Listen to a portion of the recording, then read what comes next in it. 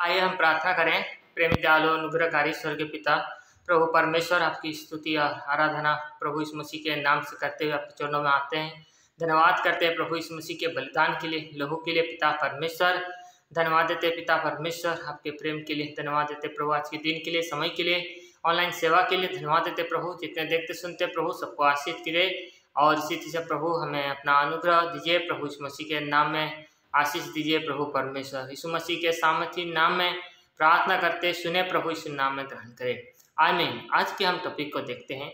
आज हमारा टॉपिक है उत्पत्ति, यानी जेनेसिस जिसको हम देखने जा रहे हैं। और इसके विषय में हम देखेंगे। इसी तरह से उत्पत्ति में पहला अध्याय और उसका पहला वचन यहाँ पर इसी रीति से लिखा है। आदि में परमेश्वर ने आकाश और पृथ्वी की सृष्टि की। ये उत्पत्ति की पुस्तक जो है, वो आरंभ जो हुआ है, विषय को बताता है, जगत कैसा सृष्टि हुआ है, इसको, ये उत्पत्ति की पुस्तक हमें बताती है, कैसे जगत इसमें सिरजा गया है, बनाया गया है, परमेश्वर के मुँह से निकले गए वचन के थ्रू ये बनाया गया है, वचन के द्वारा ये बनाया गया है।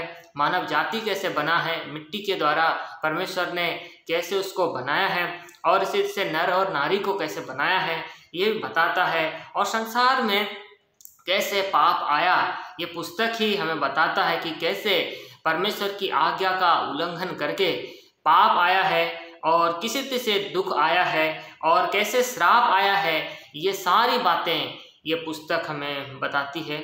इसके साथ मानव जाति के साथ परमेश्वर का कैसा व्यवहार रहा है और कैसे मानव परमेश्वर से व्यवहार करता आया है, मनुष्य कैसे परमेश्वर के साथ व्यवहार किया है, ये पुस्तक हमें इसी तरह से बताती है। एक से ग्यारह तक में हम जब इन बातों को भी देखते हैं तो बहुत सारे वंशावलियों को यहाँ पर बताया है। पहला मनुष्य और उसके बाद उसकी सारी वंशावलियों के विषय में भी बताया है। यहाँ पर हम देखते हैं कि बाबुल के विषय में बताया है और फिर इसी रीति से हम देखते हैं नू के बारे में यहाँ पर बताया है। और इसी रीति से वहाँ कैसे उन दिनों में लोग रहते थे, ये सब बातों को बताया है। परमेश्वर कैसे न्याय क्या है, ये भी परमेश्वर के वचन में हम देखते हैं कि उत्पत्ति में बताया है। और इसी तरह से बारह से लेकर जब हम पचास देखते हैं अध्याय तक तो यहाँ पर अब्राहम और उसके संतान और उसके संतानों के बारे में बताया। अब्राहम, इसहाक और याकूब के बारे में बताया है और याकूब के संतानों के बारे में बताया है। और इसी तरह से हम बातों को देखते हैं। और ये सारी बातें उत्पत्ति के पुस्तक में ही मिलता है कि कैसे अब्राहम एक चुना हुआ जाति ठहरता है, कैसा एक वंश ठहरता है हम देखते हैं। और इसी रीति से उसके बाद उसके वंशोजों के विषय में भी हम इस पुस्तक में पढ़ते हैं कि कैसे उनकी जाति रही है, उनके लोग कैसे रहे हैं और कैसे इसी रीति से वो परमेश्वर ने उनको चुना है और आशीष दी है। पहली वाचा, परमेश्वर ने यहाँ पर देखते हैं, स्त्री से बांधी है।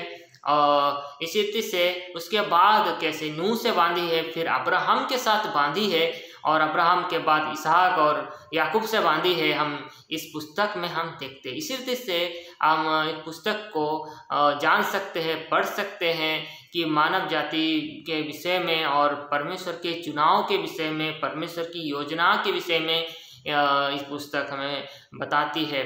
आइए हम परमेश्वर का धन्यवाद करें। परमेश्वर के इस पुस्तक के लिए आइए हम प्रार्थना करें। प्रेमी दयालु, अनुग्रहकारी, स्वर्ग पिता, प्रभु परमेश्वर, आपको धन्यवाद, स्तुति और बढ़ाई देते हैं, स्तुति करते हैं आपके वचन के लिए, प्रभु आपके पुस्तक जेनेसिस के लिए, उत्पत्ति के लिए।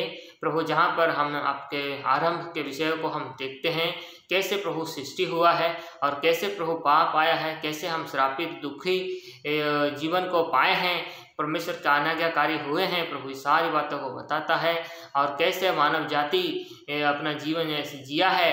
प्रभु, हम देखते हैं आरंभ ही से कैसे हम विरोधी रहे हैं तो भी प्रभु ये वचन हमें बताया है। प्रभु प्रतिज्ञा दिया है, बाचा परमेश्वर हमसे बांधा है।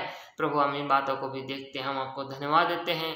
इसी तरह से प्रभु, छोटे तरीके से प्रभु इस पुस्तक को प्रभु परमेश्वर हम देखते हैं। ये परमेश्वर के योजना को, कैसे वो अपनी योजना को प्रभु परमेश्वर पूरा करता है और अपनी योजना में कैसे प्रभु परमेश्वर चुनकर उसको व्यवहार करता है, प्रभु हम धन्यवाद देते हैं। यीशु मसीह के नाम में प्रभु, हम प्रभु आपको सारे धन्यवाद देते हैं। सुने प्रभु इस नाम में ग्रहण करें।